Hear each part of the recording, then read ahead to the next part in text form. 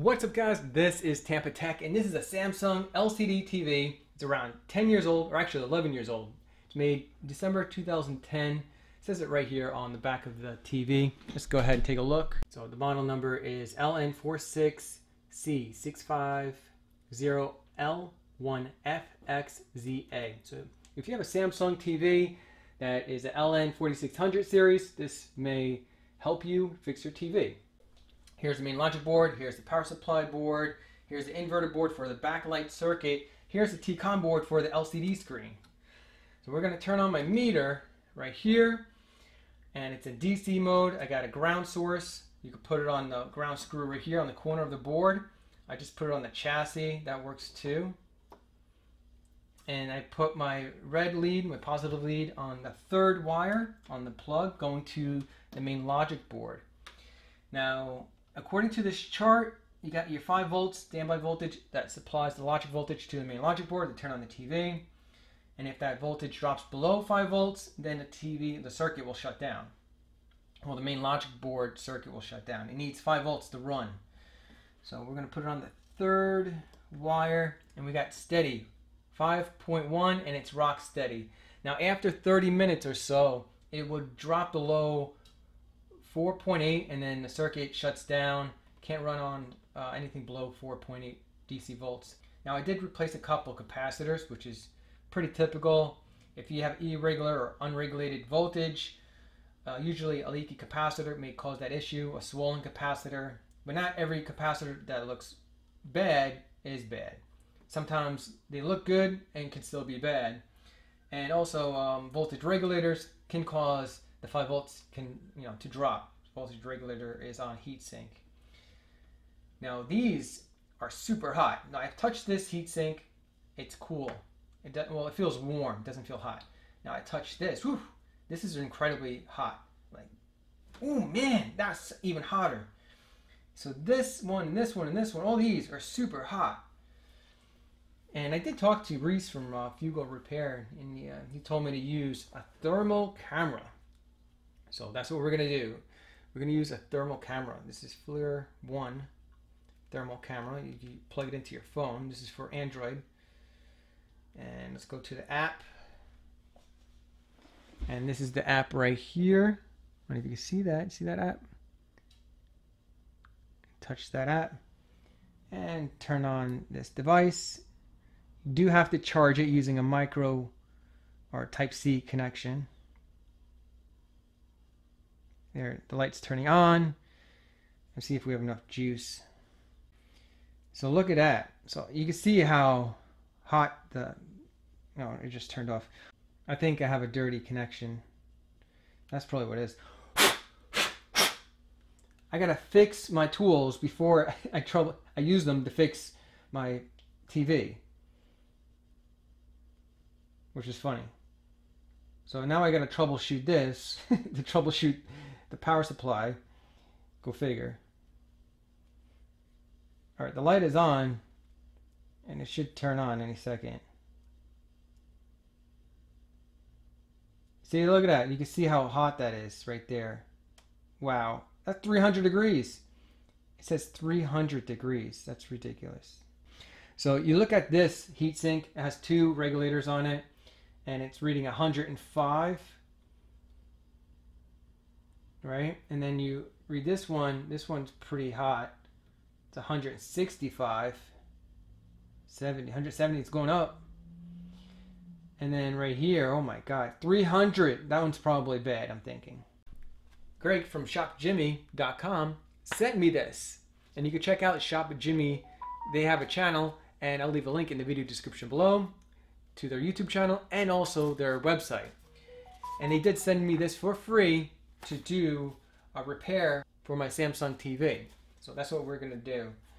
And this consists of many parts actually. So those techs at Shop Jimmy, they fix TVs all day, every day. And I guess they have a repair log, all the TVs they fix, and they created a repair kit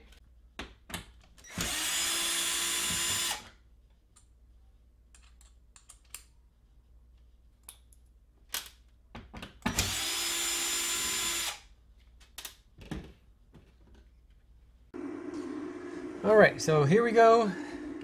This is cooled down big time, but this was really super hot and these were pretty warm. This was 300 Fahrenheit. This side was 160 Fahrenheit and this was 105 Fahrenheit. I did replace these capacitors, but they weren't necessarily bad. I just tend to replace capacitors. If I, I don't have 5 volts standby voltage going to the main logic board, I usually replace the standby.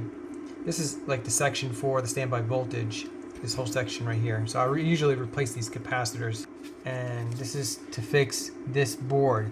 The board number is right here, BN44-00341B. And that's what it, right here, BN44-00341B as baseball. So that's the part number on the board. So that's the board number. And so we have a fuse, capacitors, Mylar capacitor, an IC, regulators, I believe, capacitors, and some transistors, and a fuse. And all the part numbers or location numbers are on here.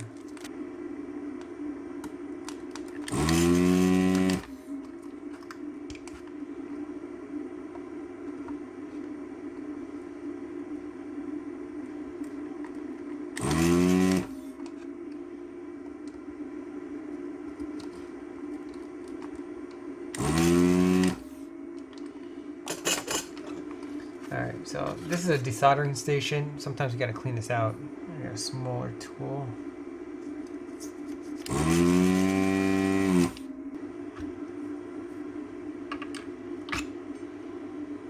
There we go.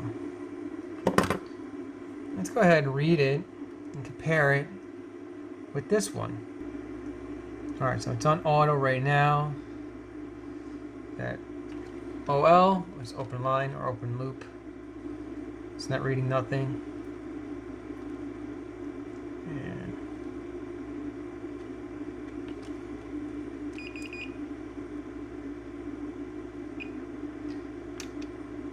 So we are reading on the brand new transistor 0.3, that's the voltage drop across those two terminals. Uh, actually 0.4, I got a better connection. So that's 0.4 should read about 0.4, 0.5, which, which is normal. That's the voltage drop. And right here, we should read OL, and it does. So that is good.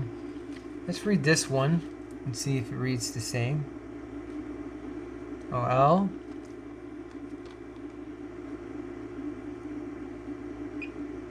Hmm, it reads the same. This one's pretty good. So I don't, I'm gonna still replace it because I mean, I already got it out, so probably add some life to it, right? So let me put some thermal paste on that. Just need a dot.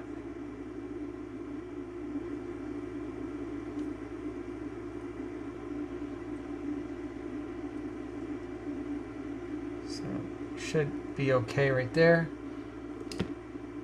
And just put it right here.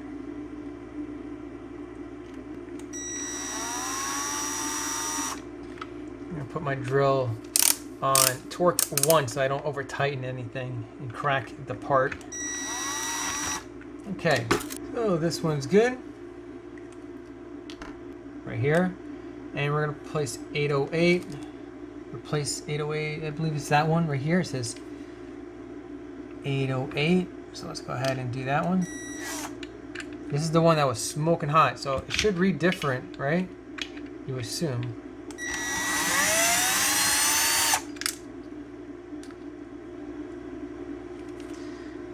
So now I'm replacing the one I think is the problem transistor. It's this one, okay?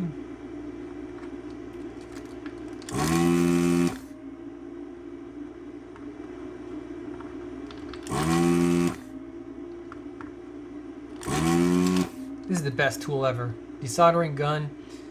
I have, I'll leave a link to it in the video description so you guys can check it out.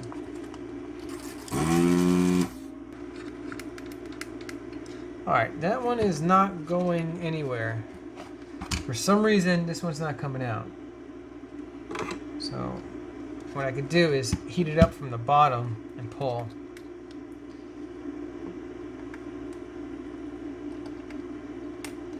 There we go. That helps slide it out. Let's go ahead and read it. Make sure the part number matches up too, right?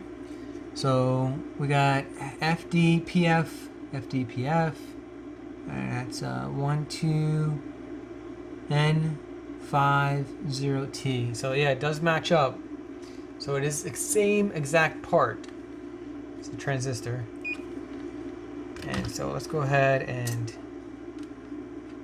check that out. So we got 0.4. That's actually good.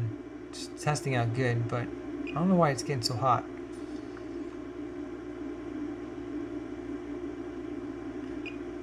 Yeah, that's reading good. So we're rating the transistor right here. Should read 0.5. Oh, it reads 0.5 this way. PNP. Alright, so it's 0.495. So that's good. And then this is 0.493. This is good too. And that's why it's tricky to fix stuff like this. Like it's it's reading 300 degrees. That's not good should read under 120 Fahrenheit with a thermal camera. I'm still going to switch it out just in case. Let's go ahead and do it and see if it's overheating still.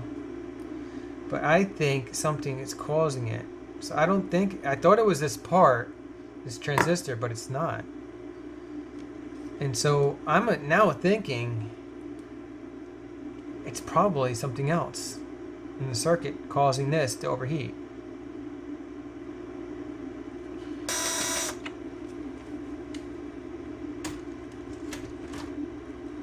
I did find something while installing all these parts.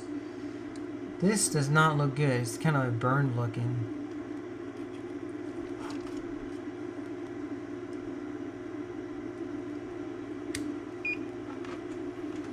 So let's go ahead and take this over here.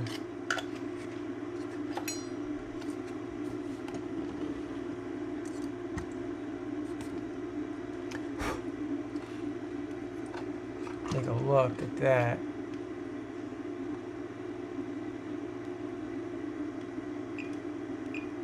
It's reading 0.0. It's almost shorted, but not shorted. I think that could be it.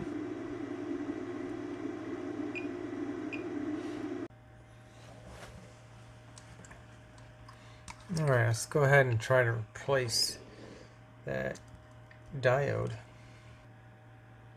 Here we go.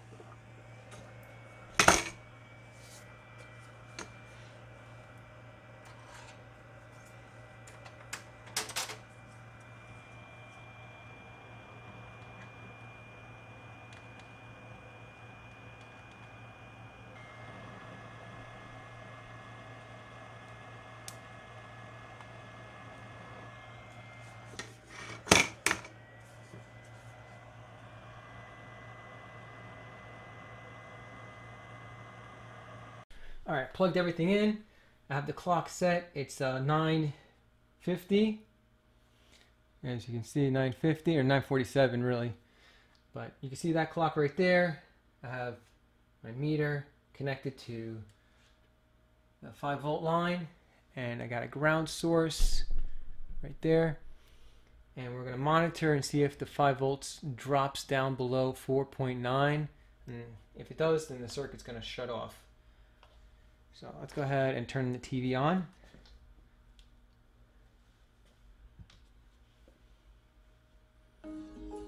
All right, as you can see, when I turn the TV on, it got 5.1.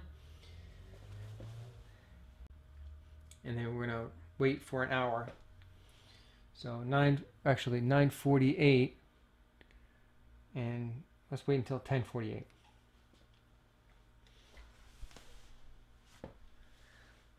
And as you can see, the backlight is on. See the backlight glowing from the holes? That's how you know the backlight's working.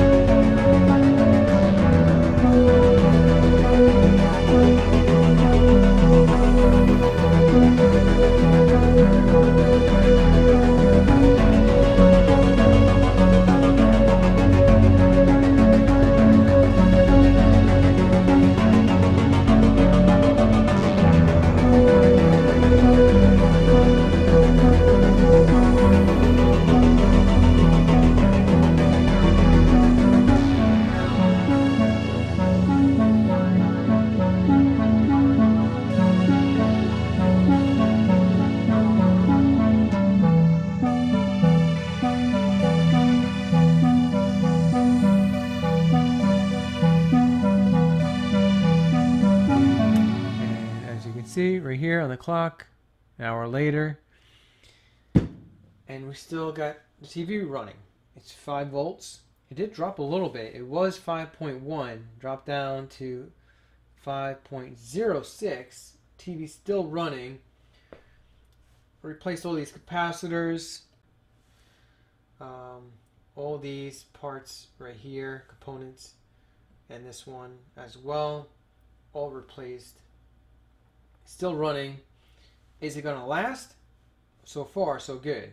But it's still putting out some heat right here and here.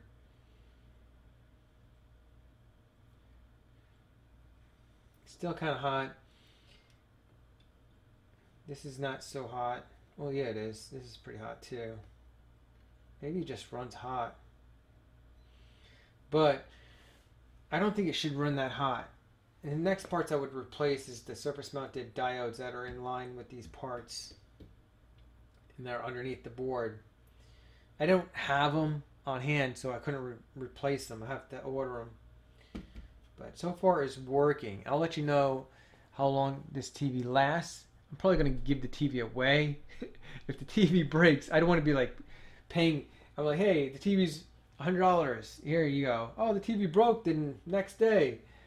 I mean, I would give the TV away. And this is an 11 year old TV. Guys, if this video was informative, give me a big thumbs up. And if you guys are interested in this repair kit, check out the link in the video description below.